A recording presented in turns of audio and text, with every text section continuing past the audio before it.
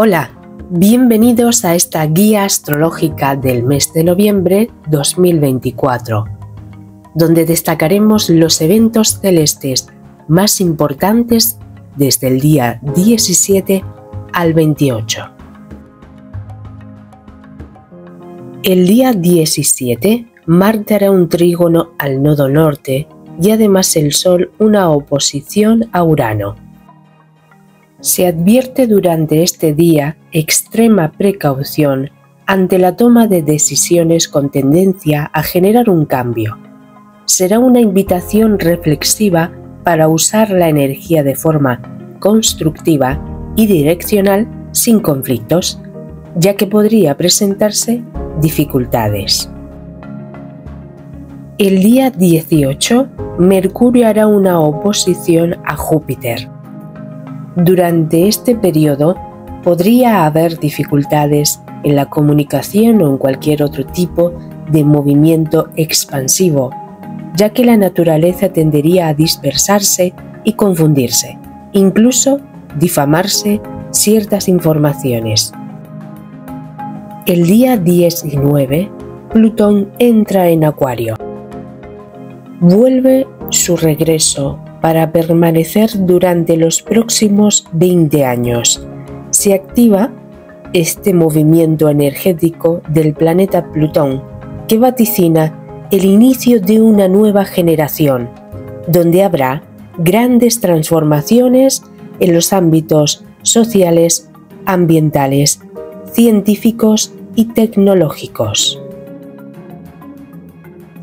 El día 21, el Sol hará un sextil a Plutón y además comienza una nueva temporada donde el astro rey inicia su tránsito en el signo zodiacal de Sagitario.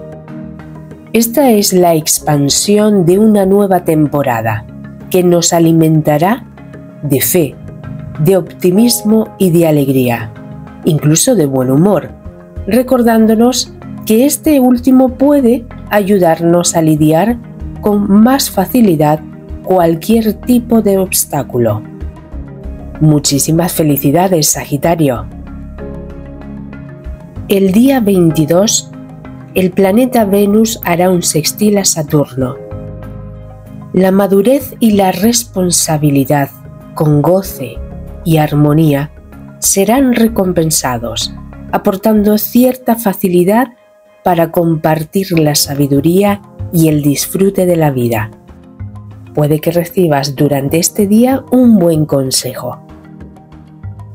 El día 25, el Sol hará un trígono al nodo norte y Venus una cuadratura Lilith. Este es un periodo para direccionar y aumentar la libertad de manera que nuestras emociones se encuentren seguras, aportándonos esa cierta seguridad y facilitándonos un mayor y mejor desarrollo personal. El día 26 el planeta Mercurio entra en su retrogradación en el signo zodiacal de Sagitario.